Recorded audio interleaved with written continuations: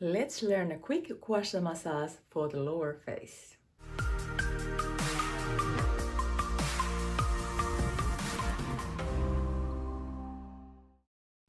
If you have time for a longer gua sha massage, I'll link the video here, but you can get plenty done in under one minute if you concentrate on the lower part of the face. I like to use some oil, argan oil is my favorite. And now I'm going to spread it just on my lower face, my jawline, so that I can use my gua sha stone to define my jawline and the cheekbones. Now, please remember that if you have any inflammation on your skin, if you have severe acne, if there's any inflamed rash on your skin, then gua sha might not be for you. You can just do it with your fingers. I will show you how in just a minute. And also if you have a tendency to bruise easily due to any medication or condition, then just please stick to your fingers. A gua sha stone might be too much.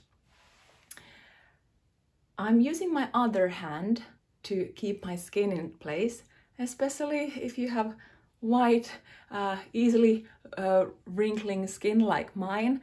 And if you're over 30, please be very careful. Don't push too much. You don't want to wrinkle the skin. You don't want to stretch the skin. I use my other hand and then I use my gua sha stone in a 45 degree angle. So not in a straight angle and not pushing, but more like pulling towards the ear in a 45 degree angle. If you have a gua sha stone shaped like this, then you can use the uh, hollow of the heart for the jawline and just gently is enough, four or five times for each position. Then I move to my lower lip. So I start from under my lower lip and go towards the ear. Then I'm going to cover my mouth and go from the corner of the mouth towards the ear. And then from the side of the nose, under this uh, uh, cheekbone,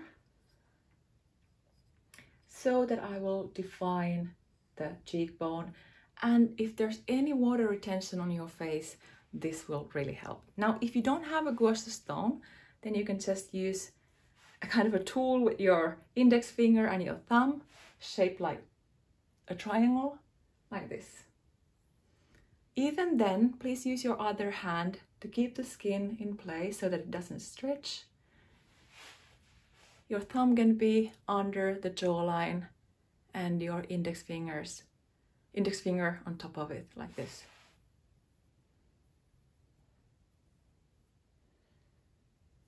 Okay, let's do both sides.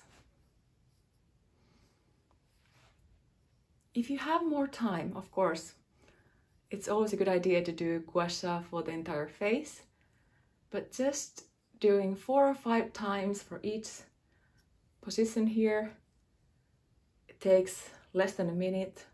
I'll show you in shorts and you can get plenty of done I recommend that you give it two weeks of daily gua sha, even just for the lower part of the face, and especially if you have any water retention there, and that's the reason why you don't have cheek defi definition or jaw definition, you will definitely see results in just under two weeks.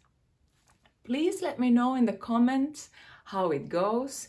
Uh, let me know if you want more gua sha videos. And if you haven't done it yet, please subscribe to my channel and I'll see you in the next video.